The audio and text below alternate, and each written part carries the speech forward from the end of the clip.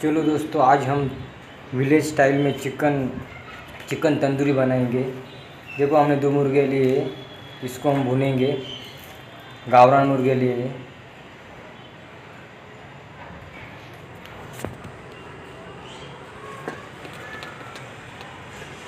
देखो देखो, इसको भून लिया है हमने। अब इसको क्या करेंगे, धोएँगे।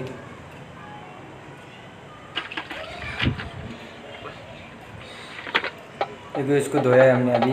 अब इसको हम हल्दी लगाएँगे। अच्छे से हल्दी लगाएँगे। बाद में इसको धोएँगे। अभी इसको साफ़ करेंगे।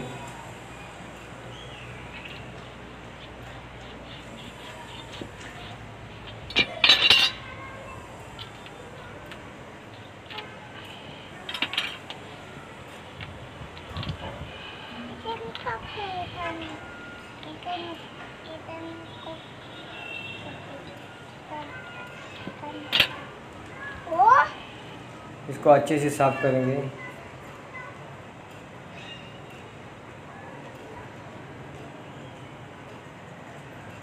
इसी तरह हम दोनों मुर्गे मुर्गे इसी तरह हम साफ़ करेंगे देखो, दोनों मुर्गे साफ़ किए दोनों मुर्गे को क्या करेंगे? हम छर्रे लगाएँगे। क्योंकि हम मीट लगाएँगे, मसाला मीट लगाएँगे, वो उसके अंदर तक जाना चाहिए, इसलिए हमने हमको छर्रे लगाना ज़रूरी है। देखो हम छर्रा लगा, अभी इसको हम बांधेंगे।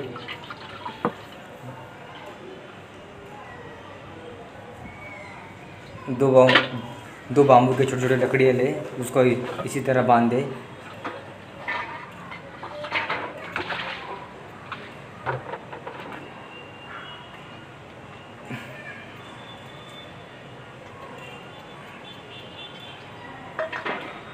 देखो दोनों छोर में बाँध दे ऐसे ही। दोनों मुर्गे को इसी तरह आप बाँध दे देखो दोनों मुर्गे को दोनों मुर्गों को इसी तरह बाँध दिया है। अब एक बाम्बू बाम्बू की बड़ी सी लकड़ी ले। उसको दोनों मुर्गे को डाल दे देखो। एक उल्टी और एक सीधी डाल दे। जिससे बांधने में अच्छा अच्छा पड़ेगा। इसलिए एक उल्टी और एक सीधी डाल दे। देखो इसी तरह।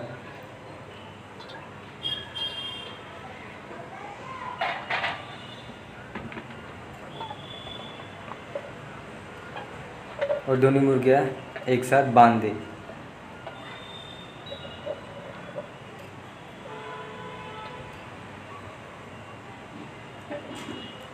ये देसी स्टाइल नहीं, ये गाउटी स्टाइल है।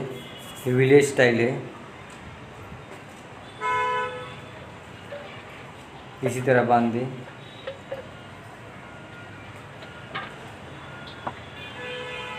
देखिए बाँध दिया है।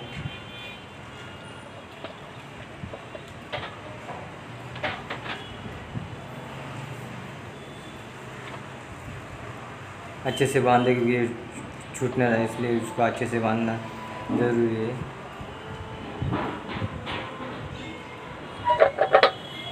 देखिए इस, इसको अभी बाँध दिया है। इसी तरह आप बाँध सकते हैं।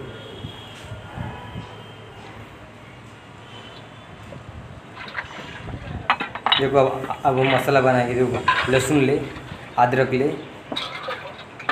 इसको बारीक करें। लहसुन और अदरक को बारीक करें। और साथ में भुना हुआ प्याज ले।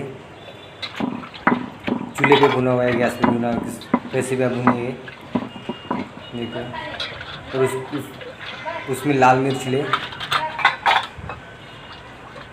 आधा चम्मच हल्दी ले। और हरा धनिया। और उसको प्याज कांदे अदरक और लहसुन से बारीक बारीक करें। अच्छे से उसमें मिक्स करें।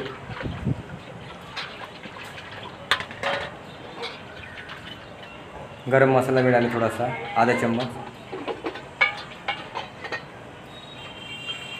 बारीक करने के बाद उसको निकालें।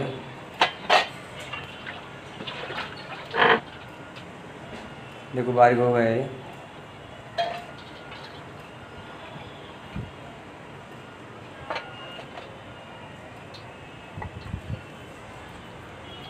इसको निकाले, इसमें थोड़ा सा पानी डालें और नमक नमक डाल दे उसमें।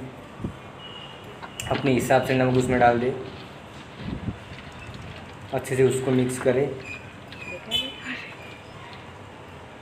और मुर्गियों को अच्छे से लगा दे। देखो इसी तरह।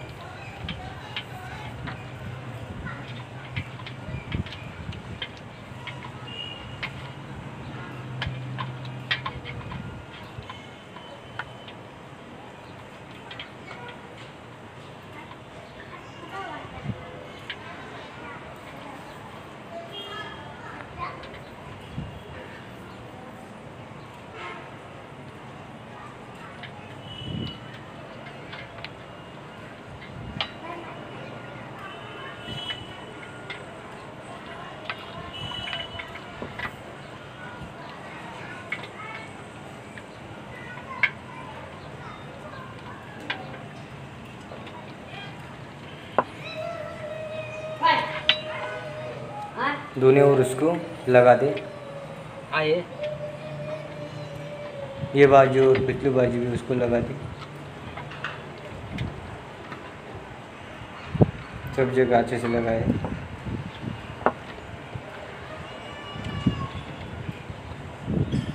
देखो हमने लगाया है। दोनों बाजू में हमने अच्छे से ठीक से लगाया। अब इसको क्या करेंगे? अब इसको भूनेंगे। देखो चूल्हे पे डाल दिया अब इसको हम भुनेंगे।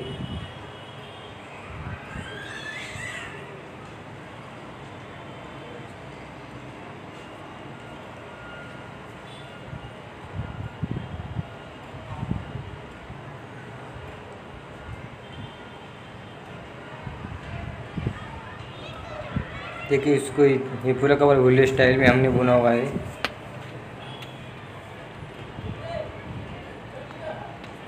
इसी तरह हम उनको भूनेंगे।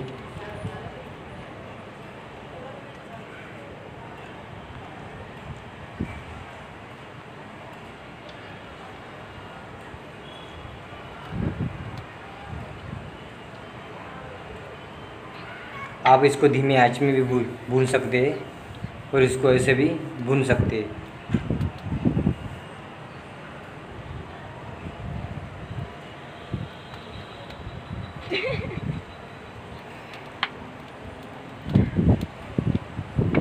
देखिए हमारे वीडियो में आए हो तो आप सब्सक्राइब करना ना भूलिएगा।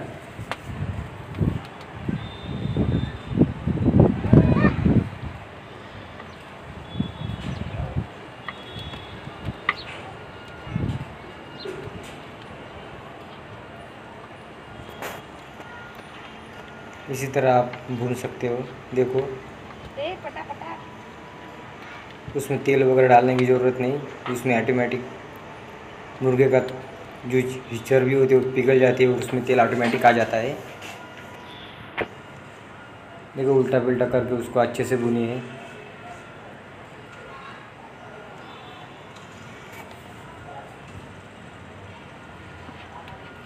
देखो, अभी जिम धीमे आँच पे हम उसको अच्छे से भूनेंगे अभी एकदम भुन गया वो, एकदम कड़क हो गए हैं।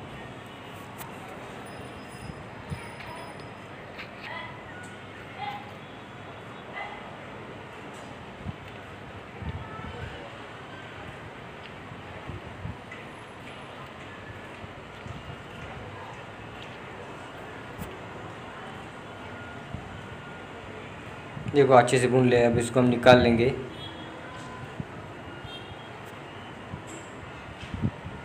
बांधा है, वो छोड़ेंगे, उसको निकाल लेंगे।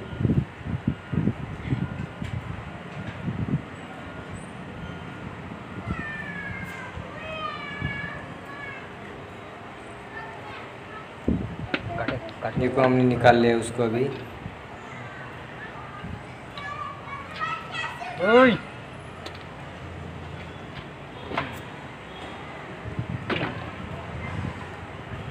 निकालने के बाद उसको अच्छे से एक एक पार्ट अलग करें।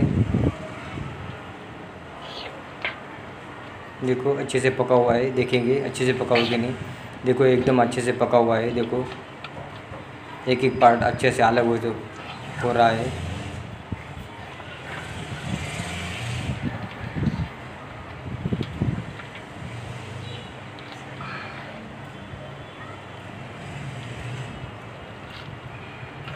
देखो अच्छे से पका हुआ है।